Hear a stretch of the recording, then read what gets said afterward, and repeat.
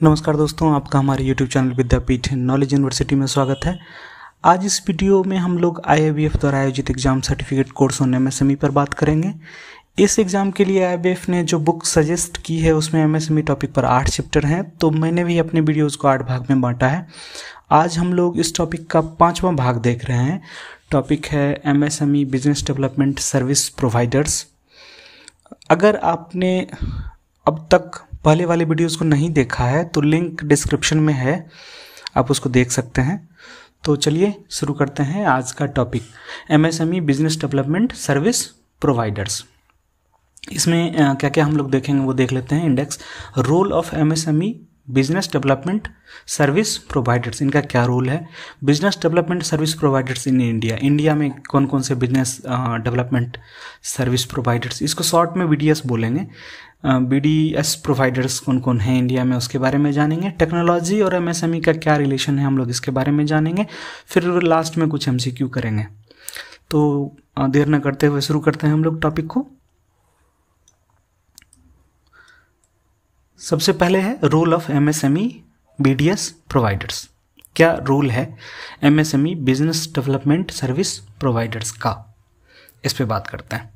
If you want MSME to make significant contribution to the economy then it makes it makes sense to assist these enterprises that they are basically viable until their expertise and experience improve and allow them to reap the benefits.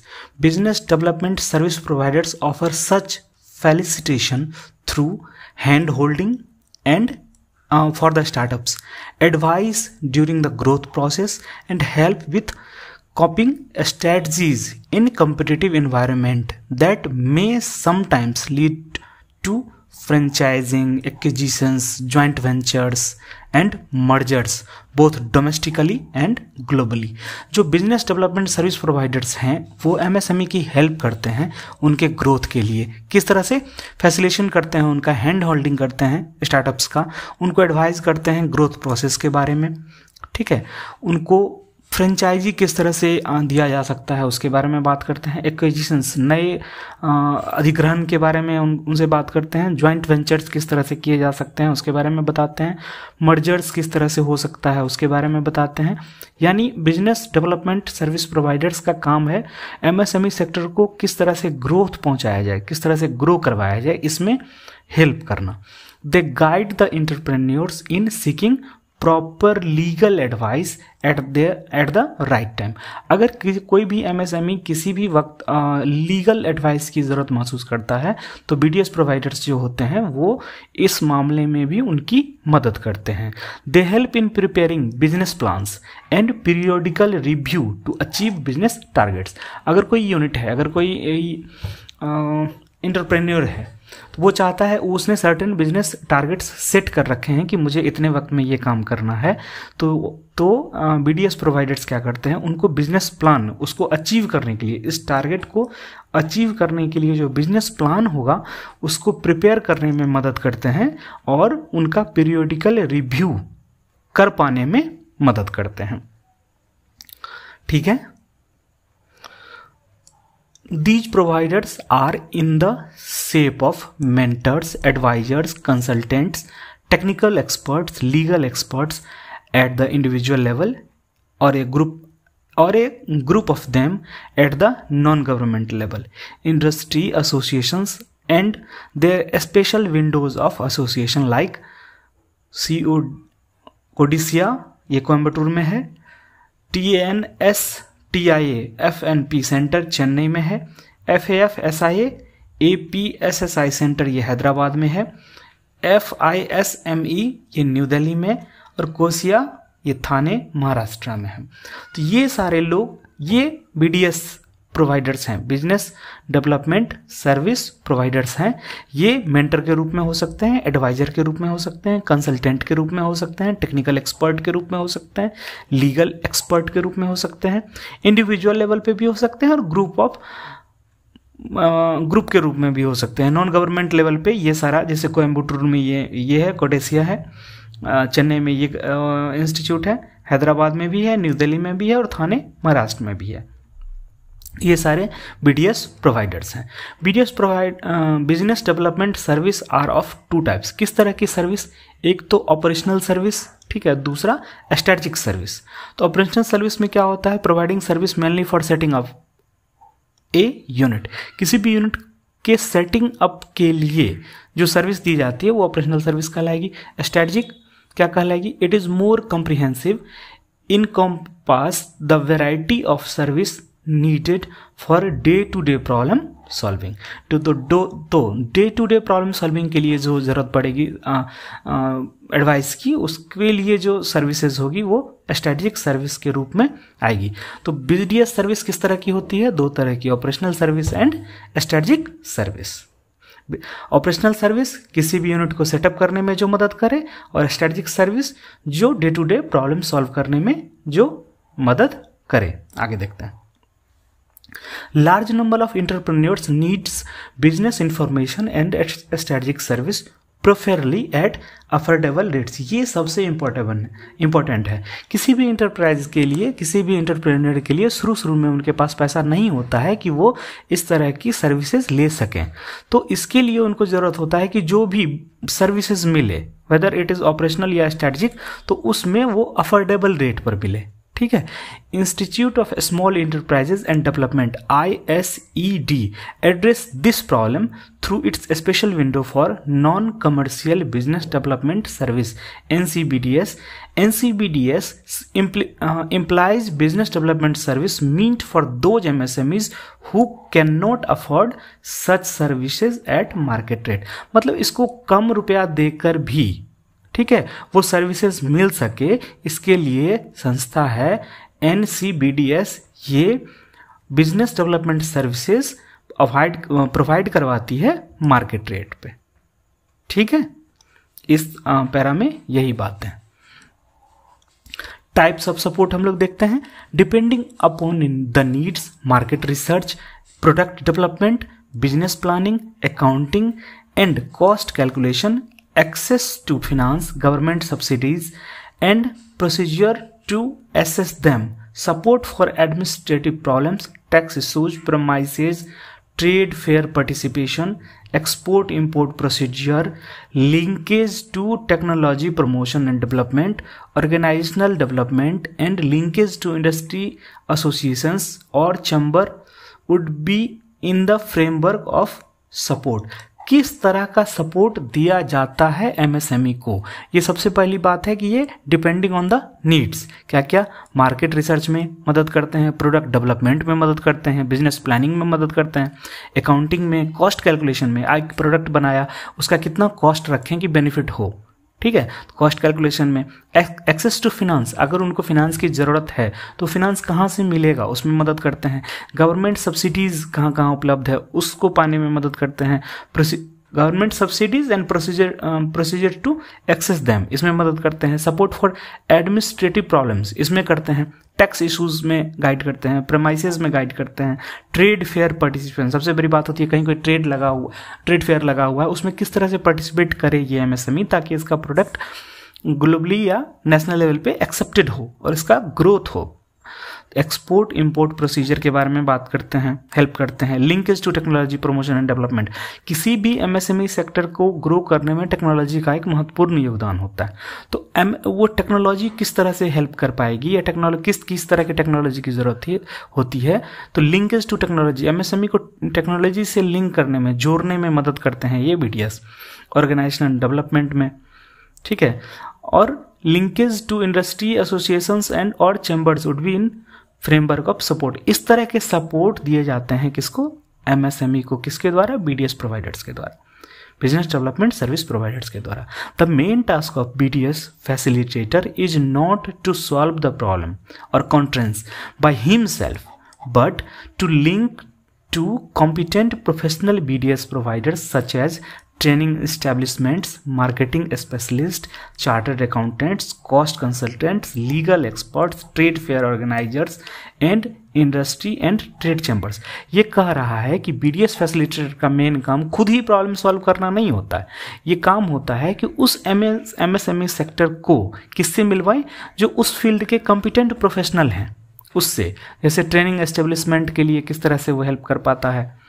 जो उस field के expert हैं, उनसे मिलवाए, उनके बारे में बताए। तो ये जो एमएसएमई सेक्टर होगा, वो उनसे हेल्प ले सकता है। जो मार्केटिंग के स्पेशलिस्ट हो गए जो चार्टर्ड अकाउंटेंट होंगे, जो कॉस्ट अकाउंटेंट होंगे, जो लीगल एक्सपर्ट होंगे, कहाँ फेयर लगता है? फेयर के ऑर्गेनाइजर्स ट्रेड फेयर के ऑर्गेनाइजर्स कौन है? तो इस तरह से इनका मेन काम है कि उस एमएसएमई को उस बारे में बताना, ताकि वो इस तरह का सपोर्ट लेकर के ग्रो कर सकें। ठीक है? एक खत्म अब हम लोग देखते हैं दूसरा point business development service providers in India India में किस तरह के बिज़नेस डेवलपमेंट सर्विस प्रोवाइडर्स हैं? ठीक है? सबसे पहले नाम आता है एमएसएमई डीओ का। MSME DO has over sixty offices and 18 autonomous bodies under administrative control these autonomous bodies include tool rooms ठीक है? Training institute institutions, technology development centres facilities provided by MSME DO are as under क्या है? Facilities, training for entrepreneurship development, preparation of project, product profile, technical and managerial consultancy and assistance for export, उसके बाद pollution and energy audits. इसके बारे में, इन चीज़ों के बारे में ट्रेनिंग ट्रेनिंग करवाता है कौन? M S M E D O ठीक है? Training for entrepreneurship development. तो इस तरह से ये M S M S M E D O ये जो ऑफ़िस है, ये इसके साठ ऑफ़िस हैं, साठ से ज़्यादा ऑफ़िस हैं और एटीन ऑटोनोमस बॉडीज़ काम करते हैं इसके एडमिनिस्ट्रेटिव कंट्रोल में। ये हेल्प करता है इन चीज़ों के लिए। ठीक है? एमएसएमई को। आगे देखते हैं हम लोग small and medium business development chamber of India it is leading national premier chamber working for growth of MSME for the last over 20 years 20 साल से ज़्यादा से ये काम कर रहा है। The chamber supports for export promotion ठीक है? Export promotion channelise bank finance bank finance को चैनलाइज करने में मदद करता है एंड इन्वेस्टमेंट ज्वाइंट वेंचर के लिए टेक्नोलॉजी ट्रांसफ़र के लिए एक्सचेंज ऑफ़ नो हाउ किस तरह से कोई भी काम करें, उसके बारे में बात करता है setting of industries marketing distribution and connectivity with buyers importers investors and strategic business partners from abroad तो ये जो दूसरा है chambers small and medium business development chamber of India ये अब्रॉड से buyer importer investor strategic business partners की help दिला करके एमएसएमई e को ग्रो करने में मदद करता है। ठीक है?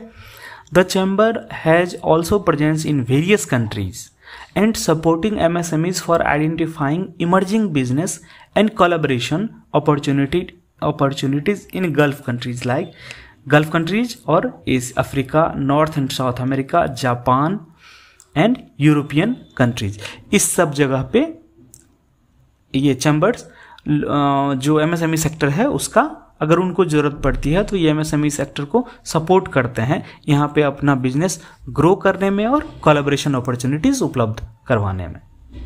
ठीक है? तीसरा इंस्टीट्यूट जो इंडिया में है, जो एमएसएमई सेक्टर को ग्रो करने में मदद करता है, उसका हम लोग नाम देख लेते हैं national skill development mission national skill development mission on the occasion of world youth skill day विश्व युवा कौशल दिवस the prime minister of India has launch the national skill development mission on पंद्रह सात पंद्रह। Mission has been developed to achieve the vision of skill India इसके बारे में आपने बहुत सुना होगा नाम। And implemented through a streamlined institution mechanism driven by ministry of skill development and entrepreneurship M S D E ministry of skill development and entrepreneurship इसके द्वारा ड्राइव किया जाता है। प्रधानमंत्री जी की जो योजना है स्किल इंडिया उसके तहत skill national skill development mission काम करता है। ये लॉन्च किया गया है कब? 15 जुलाई 2015 को। ठीक है? की institution mechanism for achieving the objective of the mission have been divided into three tiers कौन सा? पहला government governing council for policy guide guidance at apex level है ये। इसके चेयरपर्सन कौन होते हैं? प्राइम मिनिस्टर दूसरा है स्टेयरिंग कमेटी इसके चेयरपर्सन होते हैं मिनिस्टर एमएसएमई के। और तीसरा है मिशन डायरेक्टोरेट एग्जीक्यूटिव कमेटी है ये। इसके चेयरपर्सन होते हैं secretary M S D E M S D का full form ministry of skill development and entrepreneurship ये तीन टीयर्स में इसको डिवाइड किया गया है। की इंस्टीट्यूशनल मैकेनिज्म कहें तो इसको डिवाइड किया गया है तीन पार्ट में। पहले में प्राइम मिनिस्टर चेयर करेंगे, दूसरे में मिनिस्टर एमएसएमई चेयर करेंगे, तीसरे में secretary MSDE ministry of skill development and entrepreneurship इसको चेयर करेंगे मिशन डायरेक्टर रहेंगे। ठीक है? मिशन डायरेक्टोरेट ये जो है मिशन डायरेक्टरेट, इसके बारे में बात है कि mission directorate will be supported by three other institutions ये तीन और अदर इंस्टीट्यूशन के द्वारा सपोर्टेड हैं। कौन कौन सा? N S D A national skill development agency के द्वारा N S D C national skill development corporation के द्वारा और director general of training DGT के द्वारा। ठीक है? आगे बढ़ते हैं हम लोग। Seven sub mission have been propose initially to act as building blocks for achieving overall objective of the mission these are institutional training infrastructure convergence trainers overseas employment sustainable livelihood leveraging public infrastructure ठीक है? ये सात सब mission डाला गया है इसमें। Overall mission का जो स्किल इंडिया का जो मिशन है, उसको ओवरऑल अचीव करने के लिए। एक चीज़ यहाँ लिखा हुआ है कि to to know more about national skill development mission a P D F has been test link description में है, आप क्लिक कर लीजिए। आपके पास वक्त हो तो वो पी डी एफ़ डाउनलोड हो जाएगा। आप उसको एक बार देख लीजिए। तो नेशनल स्किल डेवलपमेंट मिशन का क्या क्या काम है, वो पूरा उस पीडीएफ में दिया गया है। ये गवर्नमेंट ऑफ़ इंडिया के साइट से वो पीडीएफ है आपको। तो सारी जानकारी आपको वहाँ से उपलब्ध हो जाएगी। थर्टी टू पेज का है वो। वो पी डी एफ़ पीपीटी है एक्चुअली तो आप उसको देख सकते हैं। इंडिया में दूसरी जो एजेंसी है जो मदद करती है एमएसएमई e को, वो है स्टेट बैंक ऑफ़ इंडिया और इसकी कंसल्टेंसी सर्विसेज़ इस, ये क्या करता है? It provides various development activities as inter conducting management program for MSME organising entrepreneurship development program training program of bank officials on critical aspect of MSME, counseling entrepreneurs on their new expansions, modernizations program, और preparation of industries dossier and industries industrial database तो ये SBI का जो consultancy service है वो यहाँ पे इस तरह की एक्टिविटीज़ प्रोवाइड कराता है। कुछ तो इंटरप्रेन्योर के लिए है और कुछ बैंक ऑफिशियल के लिए भी है? कुछ इंटरप्रेनर के लिए है, कुछ बैंक ऑफिशियल के लिए है। तो इंडिया में जो एजेंसी एमएसएमई को ग्रो करने में मदद करते हैं कंसल्टेंसी सर्विस देते हैं, उसमें एक चौथा ये भी है।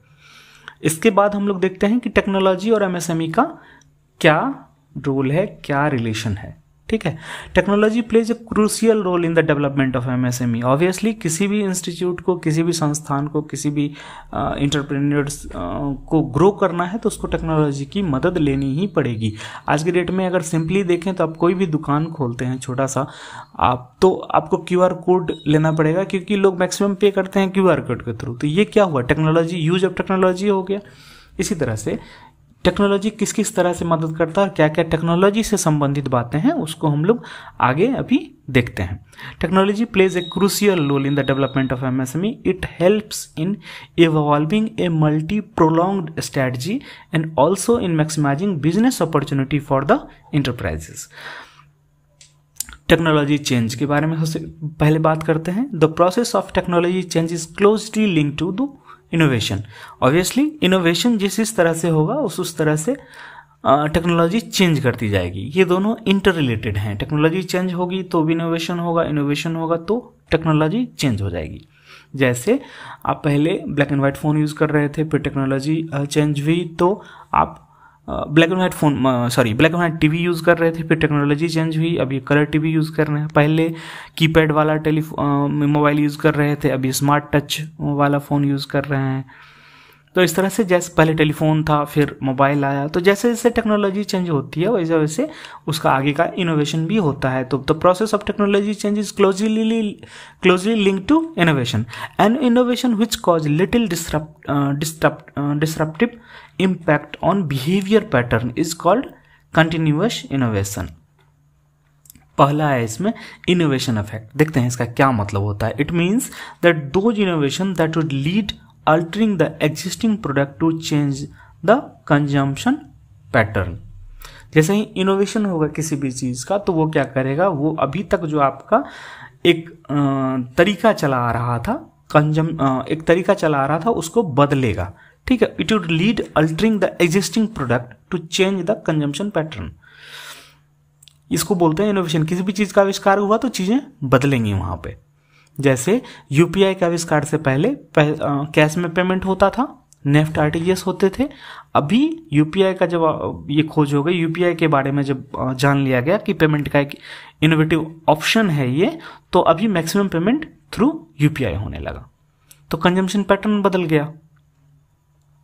सब्सटीट्यूशन इफ़ेक्ट क्या है वो देखते हैं When a new technology captures over a period of time a substantial share of the market from an existing older technology, the new technology should be better and econ economically more viable.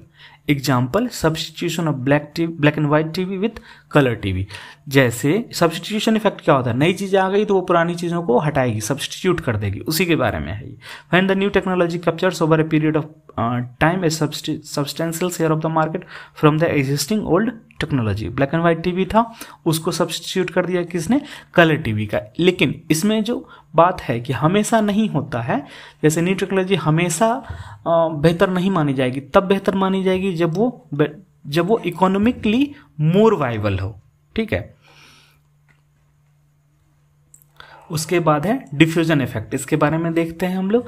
The most common and simplest form of the diffusion arises when individuals are the adoption units and the innovation concern is a consumer type interpersonal influences and mass media are both major cause of diffusion when individuals are the adoption units both demand and supply factors affects diffusion demand and supply factor जो होगा वो diffusion को प्रभावित करेगा दोनों demand भी और supply भी Life span of technology also follows the similar stage किसी भी टेक्नोलॉजी के केस में जो जो उस पर्टिकुलर टेक्नोलॉजी का जो लाइफ स्पैम होगा, उसमें भी इसी तरह के स्टेजेस होते हैं। पहला क्या? इनोवेशन जब टेक्नोलॉजी की खोज हुई, दूसरा सिंडिकेशन जब उसका प्रचार प्रसार हुआ डिफ्यूजन उसी केस में अगली करी है ये सब्सटीट्यूशन जब उसको किसी दूसरे टेक्नोलॉजी ने सब्सटीट्यूट कर दिया। नेक्स्ट जो पॉइंट है, वो है technology upgradation induction of state of art technology और near state of the art technology state of art technology का अर्थ होता है लेटेस्ट टेक्नोलॉजी ठीक है? अपग्रेडेशन का अर्थ क्या होगा कि जैसे आप फ़ोन है आपका तो अपग्रेड करते हैं उसको बीच में तो क्या करते हैं? जो आज के डेट में जो लेटेस्ट चीज़ें हैं लेटेस्ट टेक्नोलॉजी है, वो उसमें अपडेट किया जाता है। ठीक है इंडक्ट किया जाता है इंडक्शन होता है उसका। तो induction of state of the art technology state of the art technology मतलब लेटेस्ट टेक्नोलॉजी या near state of the art technology मतलब लगभग लेटेस्ट टेक्नोलॉजी उसका इंडक्शन ये क्या कहलाएगा? टेक्नोलॉजी अपग्रेडेशन ठीक है? Technology and quality upgradation support to MSME TE Q UPA scheme technology and quality upgradation support to MSME ये क्या है? Implemented by ministry of MSME through various nodal agencies for providing capital subsidy to MSME for technology and quality upgradation support MSME को technology and quality upgradation support के लिए ministry of MSME द्वारा capital subsidy उपलब्ध कराई जाती है इस scheme के तहत T E Q U P के तहत technology and quality upgradation support to MSME इसके तहत क्वांटम ऑफ़ सब्सिडी या फाइनेंशियल सपोर्ट क्या है? Up to 25 percent of the project cost for implementation of energy efficient technology energy saving minimum 15 percent होगा इसमें। Energy efficient technology किसको कहेंगे? जहाँ पे एनर्जी सेविंग कम से कम 15 परसेंट हो। और इनर्जी इफिशियंट टेक्नोलॉजी को इम्प्लीमेंट करने के प्रोजेक्ट कॉस्ट का 25 परसेंट तक ठीक है? ये ई ई टी कहाँ पर होगा? As per detailed project report subject to maximum rupees ten lakh per project तो सब्सिडी कितने की है? मैक्सिमम दस लाख की है, लेकिन ये दस लाख कैसे कैलकुलेट होगा? ये मैक्सिमम है। कैसे होगा? अप टू पच्चीस percent of the project cost होगा। प्रोजेक्ट कॉस्ट किस बात का? इनर्जी इफिशियंट टेक्नोलॉजी लगा रहे हैं। इनर्जी इफिशियंट टेक्नोलॉजी किसको कहते हैं? जहाँ पे एनर्जी सेविंग मिनिमम पंद्रह परसेंट हो रही हो नॉर्मल से। And as per detailed project report में ये चीज़ मेंशन हो कि प्रोजेक्ट रिपोर्ट में क्या मेंशन हो? इनर्जी इफिशियंट टेक्नोलॉजी हम लगाएँगे। ठीक है? और इसका जो खर्चा होगा, उसका ट्वेंटी फाइव परसेंट देगा सब्सिडी के रूप में। ठीक है? या मैक्सिमम कितना? Ten lakh per project clear है? Subsidy to be kept in the form of T D R for two years from the date of receipt of subsidy as non interest bearing and no interest to be charge on the subsidy portion of the term loan जो term loan यहाँ पे बनाया गया, उस term loan का जो भी subsidy आ रही है maximum up to ten lakhs दो साल के लिए एफ़ डी आर बन के रहेगी। इस एफ़ डी आर पे कोई भी इंटरेस्ट पे नहीं करेगा बैंक और जो सब्सिडी का पोर्शन होगा, जो एफ़ डी आर के रूप में रखा जा रहा है, उस पोर्शन पे भी कोई भी इंटरेस्ट चार्ज नहीं होगा। After two years if all conditions are fulfilled subsidy can be credited to account of beneficiary दो साल बाद अगर सारे शर्त पूरे हो जाते हैं तो सब्सिडी को बेनिफिशरी के अकाउंट में ट्रांसफ़र किया जा सकता है। दूसरा है, देखते हैं technology information forecasting and assessment council T I F A C it provides partial funding support to MSME for demonstrating commercially viable new technology products and processes.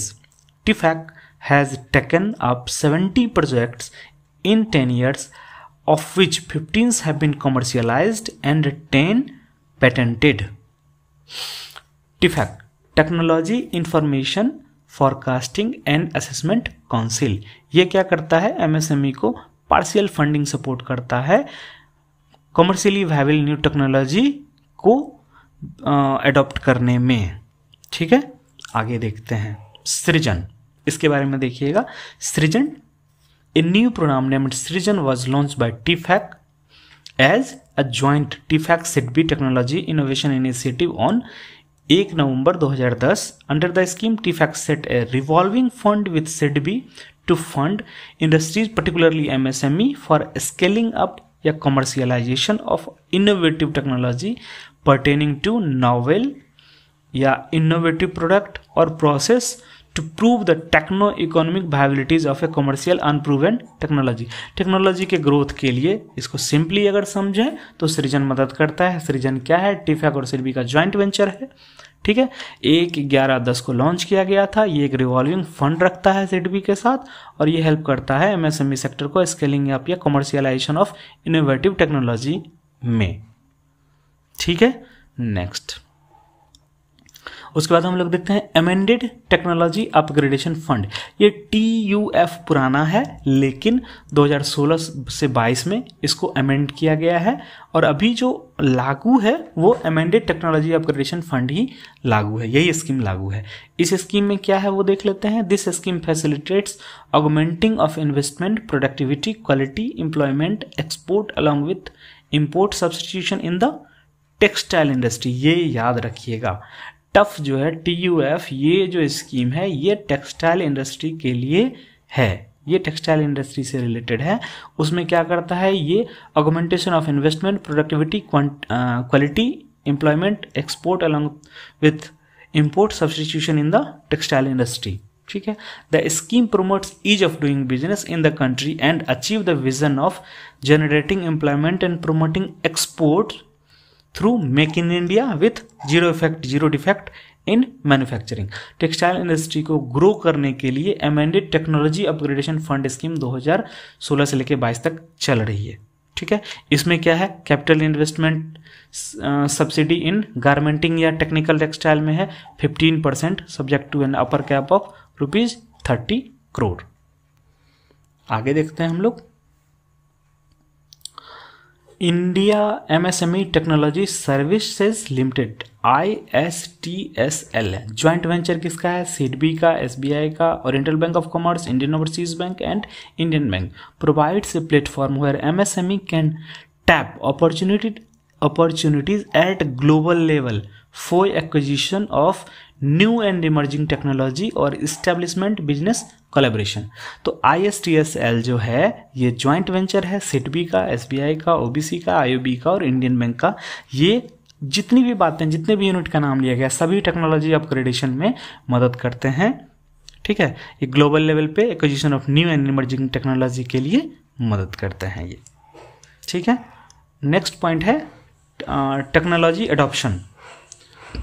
Technology is backbone of modern business but msmes in india lag behind in adoption of technology the main reason behind uh, avoiding the adoption of technology are budget ठीक है finance and affordability afford ही नहीं कर पाएँगे budget ही नहीं है तो उस केस में क्या होता है टेक्नोलॉजी अडोप्शन में मुश्किलें आती हैं जो इंडिया का एमएसएमई सेक्टर है उसको यहाँ पे मुश्किल आती है। टेक्नोलॉजी बैकबोन है मॉडर्न बिज़नेस का। लेकिन इंडिया का जो एमएसएमई सेक्टर है, उसको मुश्किल आती है इसके अडोप्शन में। Reason behind it first budget दूसरा इंफ्रास्ट्रक्चर लिमिटेशंस जिस तरह का इंफ्रास्ट्रक्चर होना चाहिए, वो नहीं है। एक्सेसिबिलिटी ऑफ़ टेक्नोलॉजी जिस तरह की होनी चाहिए, वो नहीं है। Shortage of skill manpower नहीं है। ठीक है? तो इन चीज़ों के कारण टेक्नोलॉजी एडप्शन में समस्या आती है।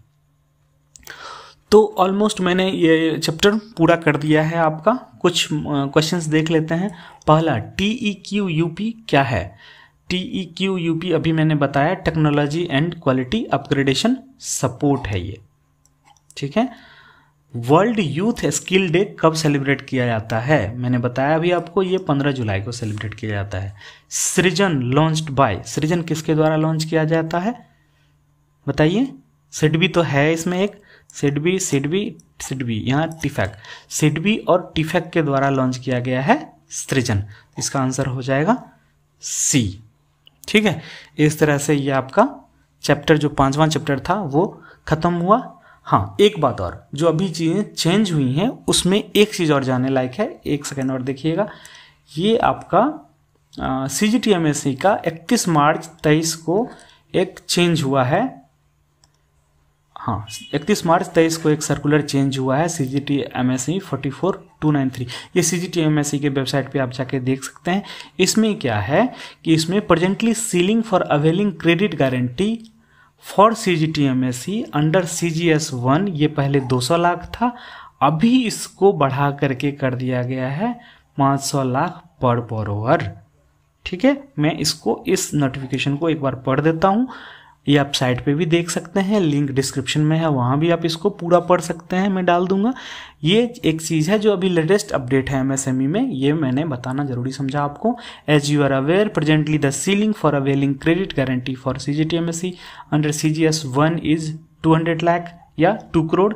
In view of request received from banks the matter has been reviewed. Accordingly we are glad to inform you that it has been decided to increase the ceiling for coverage under cgs 1 from 2 crore to 5 crore. 200 lakh to 500 lakh per borrower. For the credit facilities extended by eligible MLIs member lending institutions to micro and small enterprises ठीक है? ये आपका description में है, ये पूरा PDF site पे भी सी जी के साइट पे आप देख सकते हैं। आप चाहें तो यहाँ से देख सकते हैं। ये बढ़ गया है। आपके नोटिस में मैंने ला दिया। तो मुझे उम्मीद है ये पांचवा चैप्टर आपको अच्छे से समझ आया होगा। अगर आपको वीडियो पसंद आया तो उसको लाइक कर दीजिए। कुछ पूछना हो तो कमेंट बॉक्स में लिख डालिए। इस तरह के और वीडियो को देखने के लिए चैनल को सब्सक्राइब कर सकते हैं। हाँ सब्सक्राइब करने के बाद बेल आइकन को प्रेस करना मत भूलिए। तो मिलते हैं अगले वीडियो में। Thank you